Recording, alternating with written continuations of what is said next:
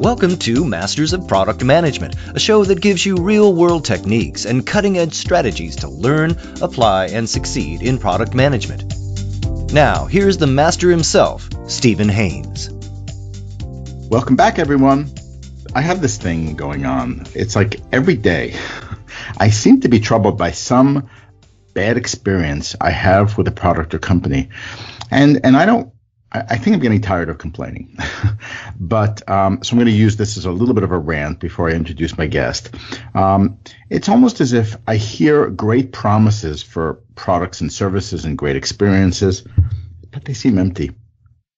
And over the last couple of days, interactions with my cable companies and, and, and airlines and wireless and all kinds of things and 45 minute hold times and people who are ill equipped to handle what's going on or just, just everybody, I'm sure everybody has some kind of a rant. And I talk to my friends and my family, and they are feeling the same way. So I know I'm not alone in the world. And in the product management workshops I deliver at my firm, Sequent Learning Networks, we help product managers consider customer first, product next right? And not platitudes of the importance of the customer experience or the user experience, but really understanding deeply what that means. And and so as and as a more of a backdrop to what I want to talk about today, most of our clients operate in the B2B arena. And in the big picture, there's nothing more important than the customer experience. Except in B2B, it's a bigger question. Who exactly is that customer? Is the classical user or product or someone who's just associated with the user whose life is impacted by what's to be done or what's not being done. And, and, and there's more though. It's like, what is this customer, whoever that person is in that organization, what are they trying to do and what outcome are they trying to provide? And we in product, we don't always have a sufficient understanding of these people who operate in these customer companies. We believe we do, but the evidence suggests through my workshops and other research that we're doing, that's not the case. And we are missing important clues about the work lives of those customers. And because of those misunderstandings, we bear witness to things like what I would say diminished success, both on the sell side, because the products don't hit the mark 100%, and on the buy side, because the value propositions just don't add up. Most of you who listen to this podcast know I'm usually out there talking to lots of people to get their perspectives or just to maybe conduct informal benchmarks. And so the other day I was talking with Sam Aborne, and Sam is a former vice president at a company called Dacry. Um, we held roles interacting around their product and customer experience. And even before that, he worked for Accenture where he led teams to provide strategic insight for very large Fortune 500 esque software and tech companies as they underwent their digital transformation, which makes it relevant to the topic at hand today. So, um, Sam, your your topic, your perspectives are interesting, and I'd like to have you share them with our listeners. So, welcome to the show, Sam. Yeah, thanks, Steve. Thanks for having me. I'm excited to kind of talk about this true passion of mine around product and customer experience and how yeah. important it is to get the customer outcome right. And, and it's true. And this idea behind customer outcomes, um, which is really the topic of this, I know it's a hot button issue for you. It's been a hot button issue for me. I think it's really a hot button issue for a lot of executives. But what is going on here, and why are you so passionate about this topic? You know, as a classically trained industrial engineer, I've always been thought to think about the customer. What does mm-hmm. the customer need in us out of the process? And what I found in the B2B space is we so often sit in our conference rooms and talk about what the customer actually wants our products to do, but we don't actually ever map out or or pull together any insight related to the exact way in which our customers actually operate. Uh, I find this just kind of disheartening because we really need to tie these things together this deep customer insight around their processes and how they're going to use our product. In the consumer space, um, often we can be like, hey, here's a cool product. But in the B2B space, you actually have to have that product produce an outcome. Uh, that needs to be part of that business process. And your product's not used in isolation, it's used as part of a way of making money, saving costs, saving lives which is really related to the value proposition. And you said something I think that's really important. You said something about you have to map out how customers operate. And again, there are people who are talking about customer journey maps and again the the user journey, the user experience, is there something missing? Are they are they caught up more in the words than in the action? Can you talk a little bit about that? Yeah, I think that those are great tools to help you organize maybe your hypothesis and what you think the customer is experiencing. But what's really missing is the customer's ecosystem. What is going on around the customer? What do they do right before they turn on your product? What do they do right after they turn on your product? How many times do they leave your product and go do something else or somewhere else?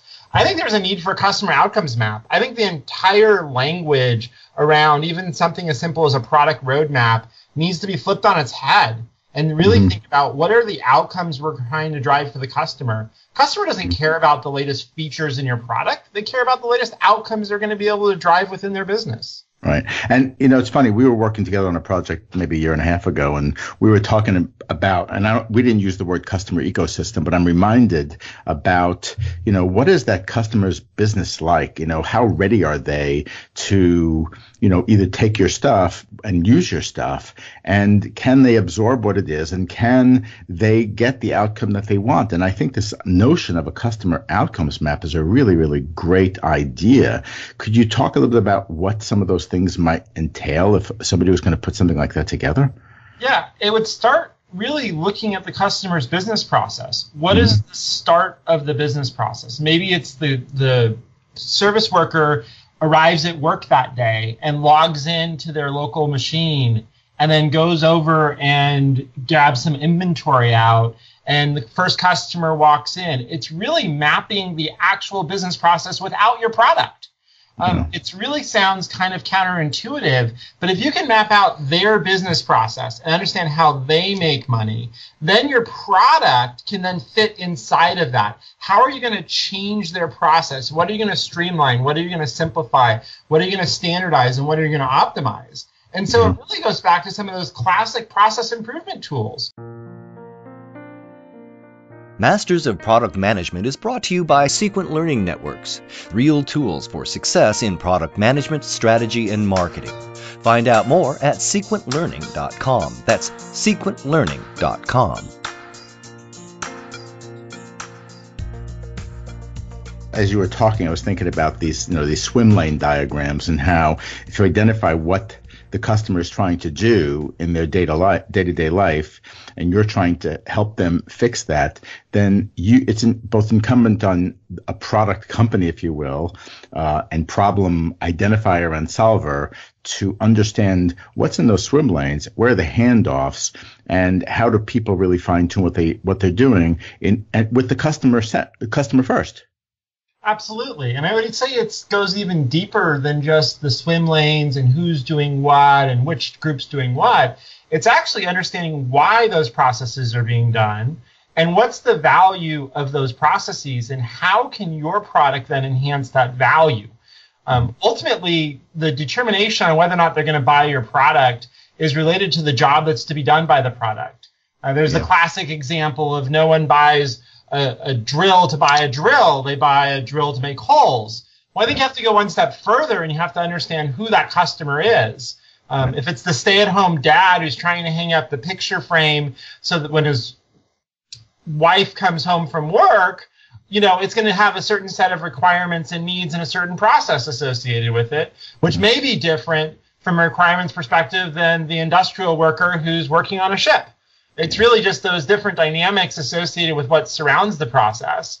Do they have a big tool belt? Do they not have a big tool belt? All those things fit together in order to define your product, but you have to look at it from a process perspective and as well as who is going to be using that from a process execution. Right. You know that you mentioned the jobs to be done thing. That was the classic Christensen uh, push, um, and I think that's really interesting. And and but I want to tie what you were talking about um, to the fact that sometimes that product people tend to develop features without regard for that customer's problem. So within the context of these things that you've been talking on, can you tell us what's going on here? Yeah, I think it's just people assuming right? It's people assuming that they understand the work process. Um, they're not spending enough time going to the customer. Uh, in Lean, that's called go to Gemba. Uh, mm-hmm. But they're not going and spending the time with the customer. They're spending their time back at the home office. Maybe the investment is too much in order to put somebody on a plane to go somewhere. But I'll tell you that investment in that wasted feature or functionality is going to be much more expensive than that plane flight out to sit with a customer and be able to observe how a customer operates throughout their entire day, not just the 10 minutes that you think you're using the product. Because it's what surrounds the product is almost as important as the product itself. And that's really where this customer outcomes map starts to come together is you're looking around your product, not just at your product. Looking for resources and best practices in product management? Just go to Sequent Learning Networks to gain access to real world tools that can make a difference. It's all there at sequentlearning.com.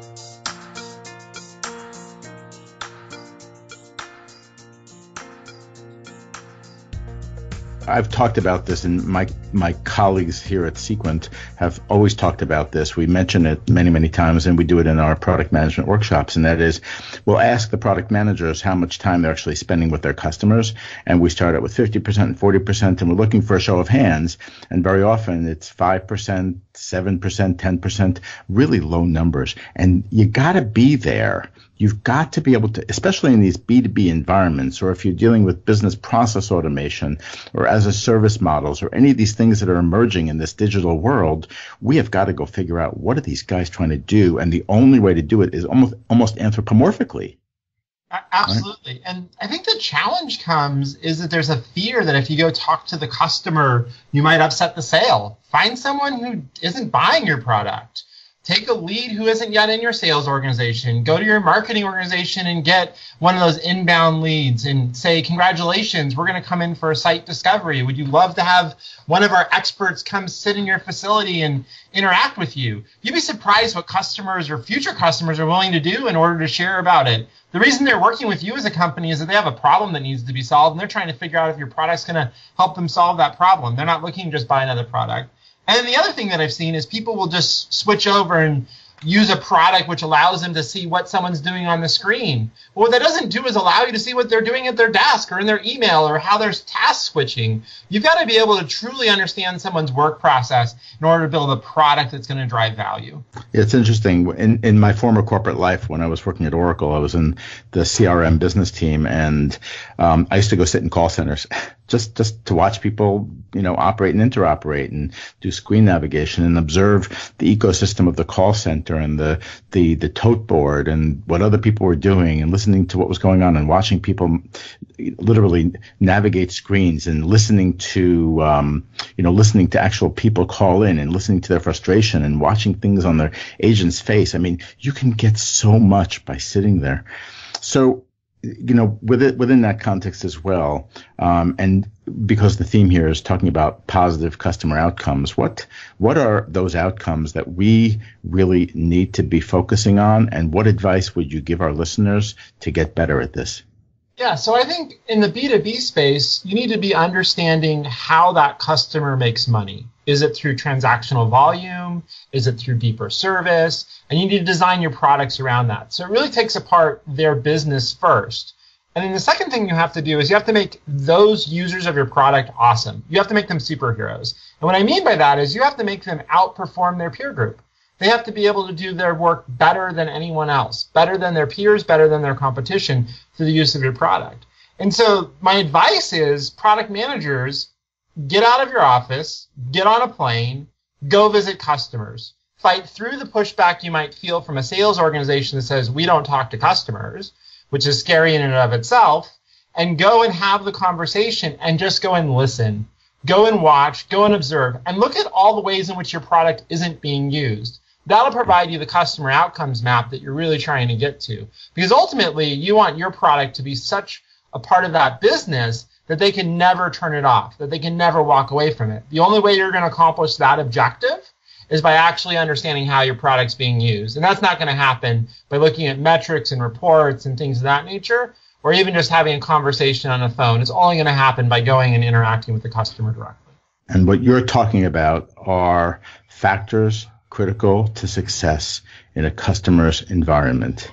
And these are vitally, vitally important perspectives. And I can't emphasize this enough. This, these conversations take place day in and day out but we, product people and people in product organizations, we're talking about it and we're debating about it, but we're not doing enough about it. And I think as, as Sam says, we've got to get out. This is this has been a mantra for years and years and years, but we haven't seen enough changed behaviors. And what's happening is that we are not helping the customers do what they need to do. And even in the B2B world, it's the customer's customer who gets impacted, which is really where I started with in this broadcast. And that is, it's I'm the guy who's operating in a B2B to C mode, and me as the end consumer. I'm not getting the value proposition because something's broken in between. So, and, and, and, and Sam, this is really great. And I really want to uh, thank you for accentuating some of these for our listeners today. And it goes without saying that results do matter. And caring about customers and the overall experience is just not in the words, it's about actions. So thank you, everybody. Thank you for joining us on Masters of Product Management, and I hope to see you next time. This has been Masters of Product Management with Steven Haines, but it doesn't end there. Just visit sequentbusiness.net to gain access to all of our shows and subscribe. That way, you'll never miss an episode. It's all there at sequentbusiness.net. We'll talk to you next time on Masters of Product Management.